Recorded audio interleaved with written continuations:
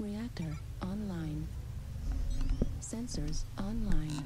Weapons online. All systems nominal. Hallo Leute, willkommen bei Safe Games and Rock'n'Roll, das zweite Highlander Video. Wir sind jetzt in dem 732er Modell unterwegs. Und ich hoffe, dass das Match halbwegs brauchbar wird. Ich habe nämlich keinen Bock mehr was aufzunehmen, ich muss pennen. Wenn das jetzt nicht klappt, dann schmeiße ich glaube einfach so auf YouTube, scheißegal. Ich habe mich hier beim Highlander für, also bei dem 32er Modell irgendwie noch nicht so ganz für ein Bild entschieden. Also theoretisch möglich wäre ja was mit Gauss Rifle und PPCs und sowas, aber das ist so äh, langweilig inzwischen.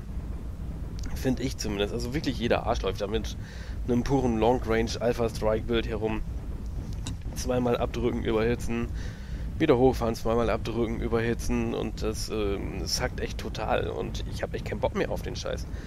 Es wäre jetzt leider nicht so die richtige Map, aber ich habe mir jetzt so ein bisschen mehr was für Melee zusammengebastelt nämlich mit einer Ultra AC5 Streak Missile, ach, Short Range Missiles, ähm, drei Stück in der Zahl, 6er sowie drei Medium Pulslaser. Ich weiß, es wäre noch mehr rauszuholen und so weiter und so fort, aber ich will nicht noch mehr Credits investieren im Moment oder kann auch nicht mehr Credits investieren.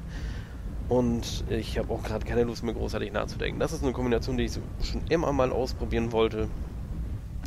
Hier habe ich jetzt endlich die Möglichkeit dazu, in diesen Mac das Ganze einfach mal bequem und problemlos reinzupacken und da werde ich das auch einfach mal auskosten.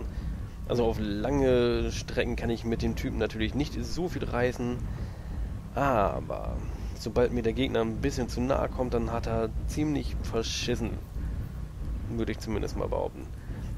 Auch wenn einen diese abgefuckten ähm, Alpha Strike Shutdown Builds echt ziemlich auseinanderfetzen können, vor allem wenn mehrere Assaults damit am Start sind hoffe ich doch mal, dass ich hier schön was erreichen kann. Mal abchecken. Eins, zwei,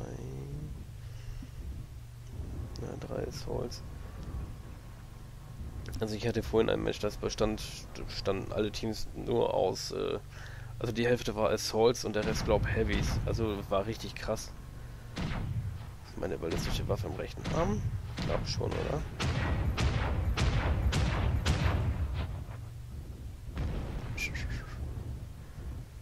die Sounds sind ja echt immer noch wirklich wunderbar.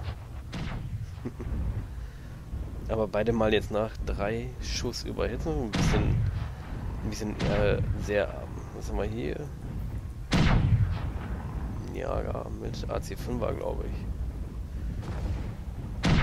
Nun ja, was gibt es uns so zu erzählen hier? Also dieser Kollege hier ist ja wirklich, äh, ich bin immer noch total begeistert, also auch schon gerade in dem Long Range Missile Varianten Spacko habe ich schon erzählt, dass der Highlander einfach wirklich sehr geil ist. Und das Assault Mac, der von den Hardpoints wirklich überaus flexibel ist, also viele mögliche Builds mit sich bringt, je nachdem welche Variante man hat und so natürlich, ist klar. Aber es gibt halt einen, der mehr auf äh, Raketen ist, einen, der mit zwei ballistischen Waffen rumfetzt, einen, der nur Raketen und Energiewaffen hat und sowas. Und ähm, da hat man wirklich viel Freiheit, um sich auszutoben, um alles Mögliche auszuprobieren. Zugleich ist es halt eine Assault Mac mit Jumpjets, was die ganze Kiste sowieso nochmal wesentlich geiler gestaltet. Und was sowieso der ultimative Bonus ist, ähm, naja, sind eigentlich die Jumpjets, ne, aber was ihn nochmal halt geiler macht, der kann wirklich unfassbar viel einstecken. Also um ein Vielfaches mehr, als ich erwartet hätte.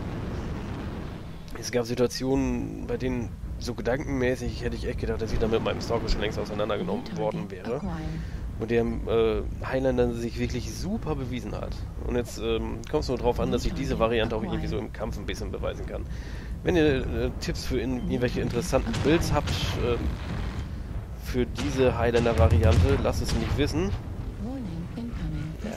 Natürlich Warning und Weapon jammed und gleich bestimmt auch über Hits und so.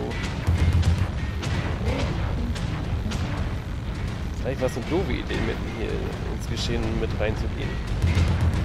Das werden wir gleich mal sehen. Zerstörte Komponenten sind aber schon mal positiv anzusehen. So, was haben wir jetzt nächstes? Highlander. Ist die Hitzeeffizienz dann aber echt arg beschissen in diesem Bild.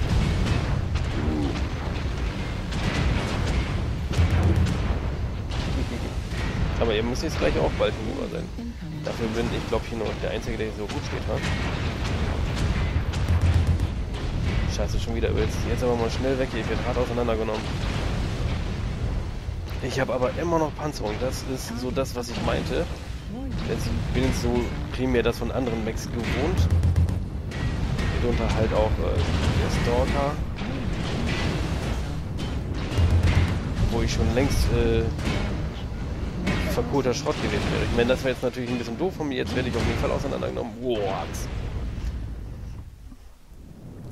Ein bisschen mehr Hitzeeffizienz reinbringen, irgendwie ein paar Double Heatings oder sowas und äh, dann geht der Kollege, glaube ich, richtig ab. 392 Schaden in der kurzen Zeit.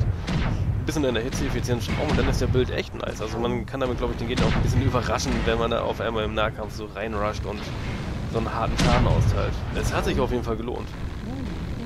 Also es werden in den Tagen auf jeden Fall noch bessere Gameplay-Videos folgen, aber das hier lade ich auf jeden Fall erstmal hoch, um noch so ein, Mac äh, so ein Highlander-Video am Start zu haben. Und wie gesagt, versprochenermaßen gibt es in den nächsten Tagen noch mehr Cooleres. Bis dahin, Leute, besten Dank fürs Zugucken. Auf Wiedersehen. Tschüss.